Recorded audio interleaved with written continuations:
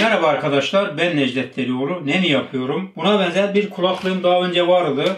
Başımın tacı etmiştim. Çok seviyordum. Gerçekten şöyle baktığımız zaman malzeme kalitesi, biçimi, güzelliği beni cezbetmişti. Çok hoşuma gitmişti. Çok da kullandım. Ama nasıl kullandım? 2-3 kere tamir ettim. Videoları var kanalımda. Pil sorunu yaşadık. Wireless sorunu yaşadık. Vesaire birkaç sorun yaşadık. Ben yaptım o bozuldu. Ben yaptım o bozuldu. Başımın tacı iken başımın derdi olmaya başladı. Baktım olacak gibi değil. Üzerindeki anakartını söküp attım. Kabloyla çalışır hale getirdim. Daha sonra onu bir komşumuza verdik. Şu anda kullanıyor sorunsuz bir şekilde. Bu da benim arkadaşımın kulaklığı. Yaşadığım sorunları bildiği için bana bunu göndermiş. Necdet abi yapabilirsen yap. Yapamazsan canın sağ olsun cinsinden. Gönderdi bildiğiniz gibi ben dışarıdan fazla iş almıyorum. Hatta hiç iş almıyorum. Sadece böyle yakın arkadaşlarımızın, tanıdıklarımızın, komşu akrabaların cihazları, bilgisayarları bozulduğu zaman sizlere bilgi aktarabilmek için o cihazları kabul edip, tamir edip videolar çekiyorum. Yoksa ticari bir amaçla yaptığım bir iş değil. Çünkü videonun altına çok yazılar yazıyorsunuz. Necdet abi benim kulaklığım da bozuk. Göndersek yapar mısın? Maalesef yapamıyorum arkadaşlar.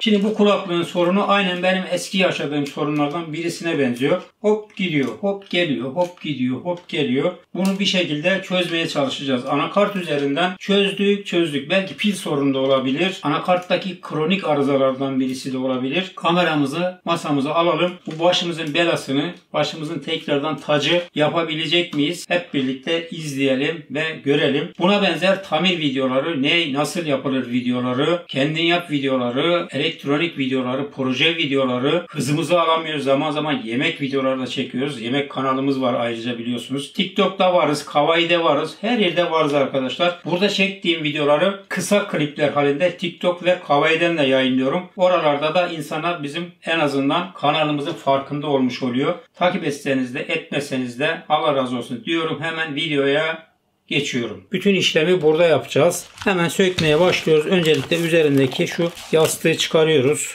Bunların vidaların bir kısmı altıgen, bir kısmı yıldız. Bu yıldızmış üst tarafı. Hemen sökerek işe başlayalım. Bu tarz işler yaparken mutlaka şöyle bir mıknatıs bulundurun. Bu vidaları kaybettiğiniz zaman ağlarsınız. Her yerde bulunan bir vida değil çünkü bunlar. Bu kadar çok ucunuz yoksa bu kulaklığa hiç girmeyin. Yüzün üzerinde uç var burada. Bir tane zor bulabildim. İç çerçeveyi açarak devam ediyoruz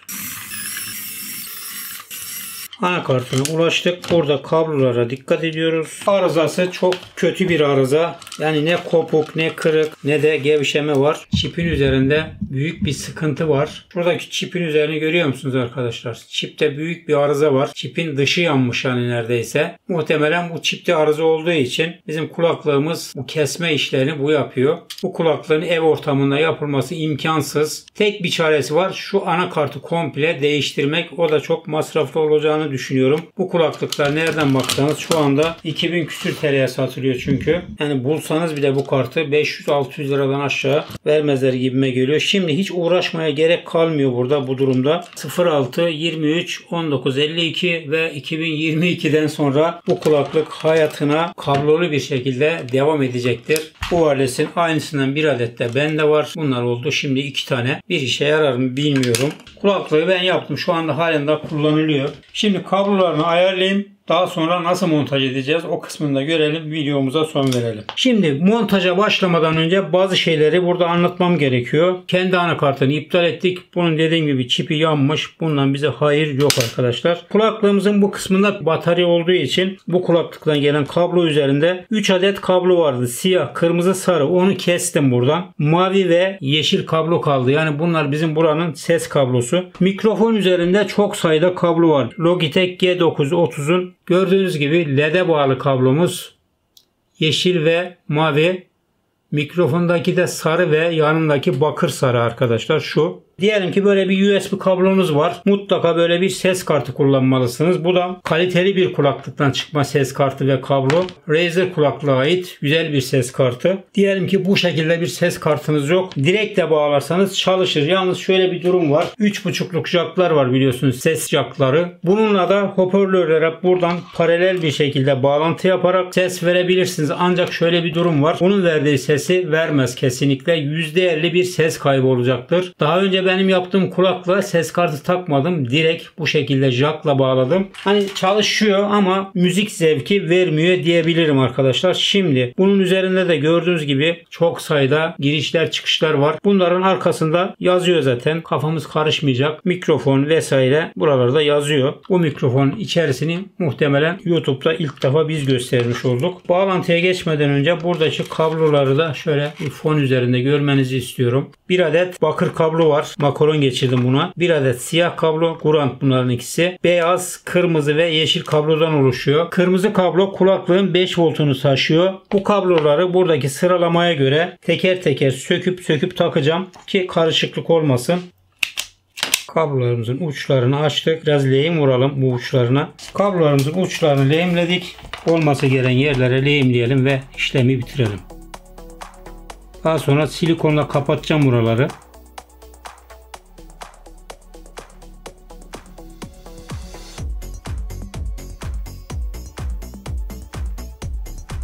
Biraz beklesin donsun. Hoparlör bağlantılarını yapacağız. Sağ hoparlör ve sol hoparlör. Burada bir de mikrofonumuz var. Bu üç bağlantıyı da yaptığımız zaman muhtemelen kulaklığımız çalışacaktır.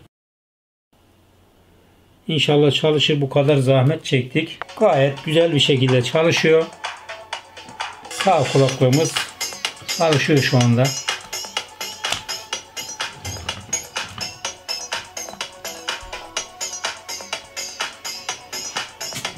Şimdi diğerinin bağlantısını yapalım. Devam edelim. Biraz önce bahsettiğim kablolarımız burada arkadaşlar. 3 adet sarı, kırmızı ve siyah. Bunlar iptal. Cihazımızın pili var. O pilin voltajını buraya taşıyor. En azından şimdilik birisinden ses alabildik.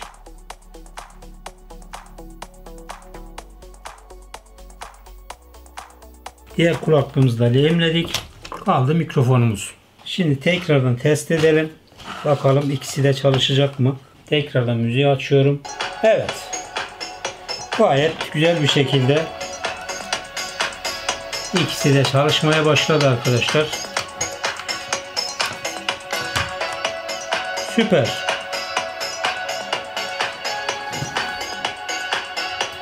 Şimdi mikrofonumuzla lehimleyelim. Devam edelim. Çakmakla yakarak temizleyebilirsiniz uçlarını ya da ince bir zımparayla zımparalayarak dışındaki izolasyonu temizleyebilirsiniz. Şu anda elimde zımpara yok. Elimle şöyle çekeceğim, temizleyeceğim. Ben de zımpara var aslında ama ta depoda. Depoya da gitmek istemiyorum. Gecenin saat 12'si 1'i şu anda. Mikrofonumuzu da lehimledik. Aslında mikrofonun LED'ini de bağlayabilirdim ama gerek duymadım. Mikrofonumuzu test edeceğiz ve videomuza son vereceğiz gayet güzel bir şekilde mikrofonumuz da çalışıyor. Tamamdır. Şimdi toparlayabiliriz. Toparlayalım ve videomuza son verelim. Mükemmel oldu.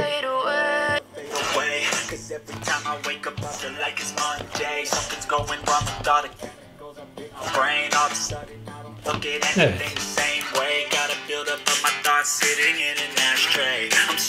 Gayet güzel oldu.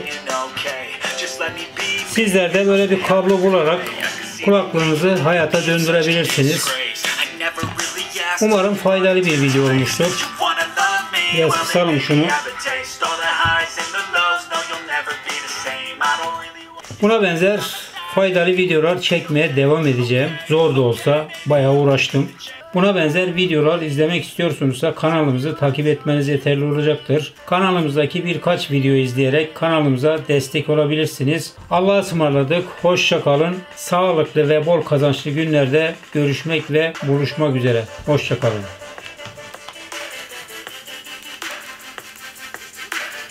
Evet, gayet güzel oldu.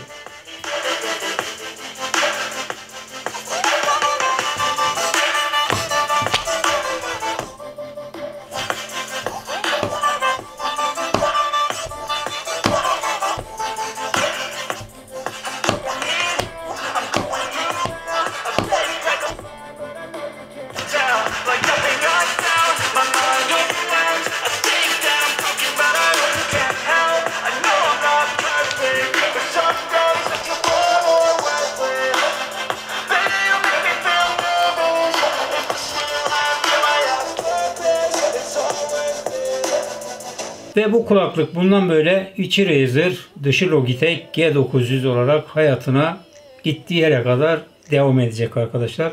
Enteresan bir işçilik oldu.